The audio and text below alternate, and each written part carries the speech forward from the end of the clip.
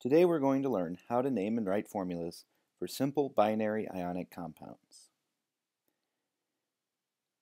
In an ionic compound, the atoms form ions which are held together by the attraction of these oppositely charged ions. A binary compound is a compound that contains only two elements.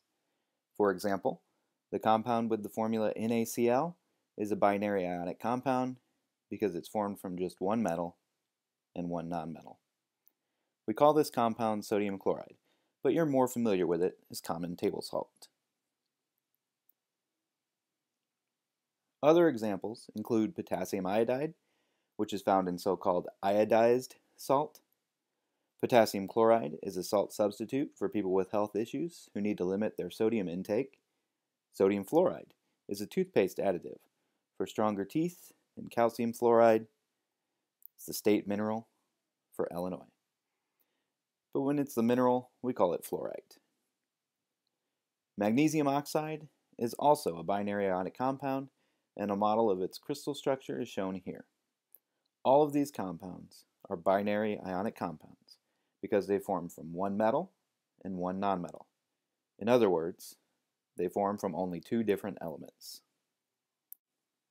By seeing the previous examples, you may have figured this out, but whenever you name a binary ionic compound, Simply write the name of the positively charged ion, then write the name of the negatively charged ion, but change the suffix of the negatively charged ion to "ide."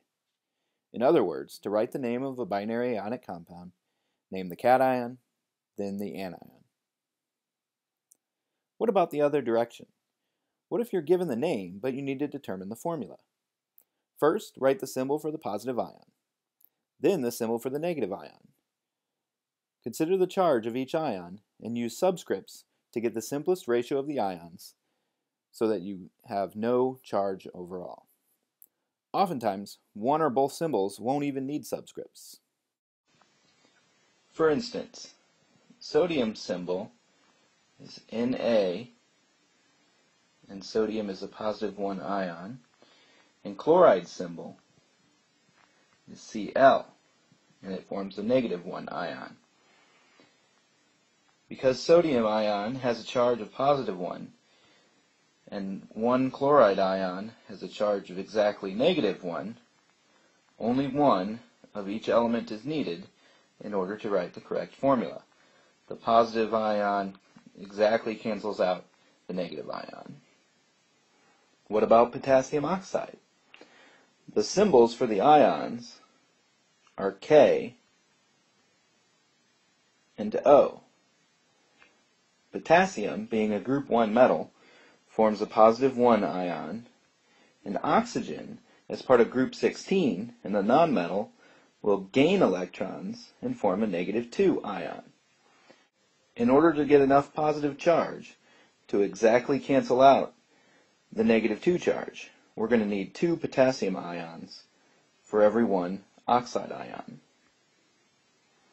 Therefore, the formula for potassium oxide is K2O.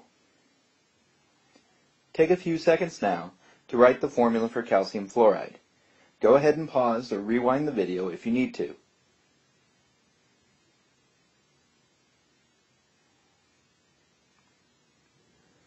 The correct formula for calcium fluoride is CaF2 because one calcium ion with a charge of positive 2 and one fluoride ion has a charge of negative 1 in order to cancel out the positive 2 charge, two fluoride ions, a negative 1 each, are required.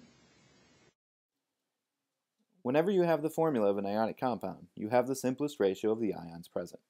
This is called a formula unit, although many students incorrectly call this a molecule. The charge of an ion is known as the oxidation number. The oxidation number for most of the metals and nonmetals that form in simple binary ionic compounds can be predicted from the number of valence electrons based on its location on the periodic table. For instance, all group 1 elements have only one valence electron, so they form stable ions by losing one electron, producing an ion with a charge of positive 1. Group 2 elements lose two electrons, forming positive 2 ions. Group 13 elements form positive 3 ions when the atoms lose those 3 electrons. The nonmetals in group 15 have 5 valence electrons, so they can form stable ions by gaining 3 electrons, producing an ion with a negative 3 charge. Group 16 elements become negative 2 ions, and because they have 7 valence electrons, the halogens in group 17 just need to gain 1 electron to become stable as ions with a negative 1 charge. To review, whenever you write the name or the formula of a binary ionic compound, in fact this is true for any ionic compound, you must make sure that the charges in the formula all cancel out. Ionic compounds are neutral, so the number of total positive charge must exactly equal the number of total negative charge. Be sure you don't write positives and negatives in the compound formula though. Whenever you write the name or formula, the cation comes first, followed by the anion. If you break one or both of these rules, then the name or formula you wrote is incorrect. This concludes the instruction for naming and writing formulas for binary ionic compounds. Please review this video along with the appropriate pages in your notes and your book whenever you have trouble naming binary ionic compounds. This is important because it creates the foundation for naming all ionic compounds.